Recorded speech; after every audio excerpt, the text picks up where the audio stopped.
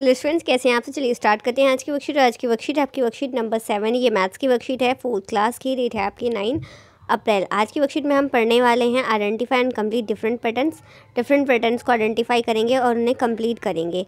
Create their own new pattern और हम अपना खुद का न्यू पैटर्न बनाएँगे। यहाँ पे आपको अपना नेम और यहाँ पे आपको अपने टीचर का नेम फिल करना है, ठीक है? स्टूडेंट चलिए स्टार्ट करते हैं। इस वर्कशीट का जो टाइटल है वो है आपका पैटर्न्स क्या टाइटल है? पैटर्न्स चलिए आगे देखते हैं। यहाँ पे लिखा है, अवनी के पिताजी की साड़ियों की दुकान है। एक दिन अवनी अपने पिताजी के साथ दुकान पर गई। वहाँ जाकर उसने देखा कि साड़ियों पर तरह तरह के पैटर्न बने थे, जिससे साड़ियाँ बहुत सुंदर लग रही थी। बच्चों, क्या आपने इस तरह के पैटर्न देखे हैं? कहाँ पर देखे हैं? लिखिए। तो देखिए, ये जो पैटर्न्स हैं, ये आपने कहाँ देखे हैं? ये आपको लिखना है। ये जो है आपके, इस तरीके के टाइटल आपके वॉशरूम में हो सकते हैं बाथरूम में हो सकते हैं ना? या फिर ये ये जो आपके घर में हो सकते हैं, ये पार्क में हो सकते हैं या रोड पे हो सकते हैं, ये भी आपके पार्क या रोड या घर में भी हो सकते हैं, इस तरीके के पैटर्न तो ये आपको लिखना है।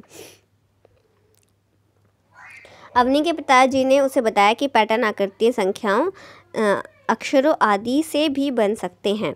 तो आइए नीचे दिए गए पैटर्न को पहचानिए और इन्हें आगे बढ़ाते हुए अपनी कॉपी में लिखें। तो ये देखिए एक ट्रायंगल है, एक स्क्वायर है। ट्रायंगल स्क्वायर फिर आप एक ट्रायंगल बनाएँगे और एक स्क्वायर बनाएँगे, ठीक है स्टूडेंट्स यहाँ पे सर्कल देखिए क्रॉस फिर प्लस फिर क्रॉस फिर प्लस तो एक सर्कल प्लस है तो क्रॉस फिर प्लस ठीक है? अब यहाँ पे देखिए, एक लाइन है, यहाँ पे दो, यहाँ तीन, यहाँ चार, फिर यहाँ पे पाँच और यहाँ पे छः। A A B B C C D D E E और फिर यहाँ पे एफ़ एफ़ तो एक, दो दो, तीन तीन तीन, चार चार चार चार, पाँच, ठीक है? सिक्स को सिक्स टाइम लिखना है। ठीक है बच्चों? ये हो जाएगा। अब आगे चलते हैं। Ten twenty thirty forty fifty फिर सिक्सटी नीचे दी गई, अब ये कंप्लीट हो गया। अब आगे चलते हैं। नीचे दी गई आकृति की मदद से पैटर्न बनाएँ। तो इस आकृति से आपको जो है पैटर्न बनाना है। ठीक है स्टूडेंट्स तो देखिए, यहाँ पे जो है आपको ट्राइंगल फिर स्क्वायर। ट्राइंगल के अंदर सर्कल, फिर स्क्वायर के अंदर सर्कल, फिर ट्राइंगल के अंदर सर्कल, फिर स्क्वायर के अंदर सर्कल ट्राइंगल के अंदर सर्कल, स्क्वायर के अंदर सर्कल। इस तरीके से आप पैटर्न बना सकते हैं, ठीक है ना?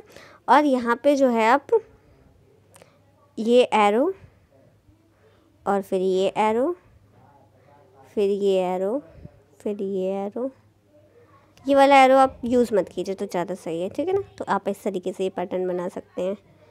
ये एरो फिर जो है आपका ये एरो ऐसा, ठीक है, ये हो जाएगा। अब देखते हैं कि अब आपको के लिए क्या सुझाव दिया गया है। यहाँ पे देखिए क्या लिखा है, बाबू के लिए बच्चों को अलग अलग पौधों की पत्तियों में पाए जाने वाले विभिन्न पैटर्न के बारे में बताइए और उनको कॉपी में ट्रेस करने के लिए कहिए। तो बच्चों, ये थी आपकी आज की वर्कशीट और मिलते हैं नेक्स्ट वीडियो में। अगर वीडियो पसंद आए तो जल्दी से वीडियो को लाइक करें, शेयर करें अपने फ्रेंड्स के साथ। अगर आपने अभी चैनल को सब्सक्राइब नहीं किया तो जल्दी जाकर चैनल को सब्सक्राइब करें। मिलते हैं बच्चों नेक्स्ट वीडियो में। बाय बच्चों, टेक केयर।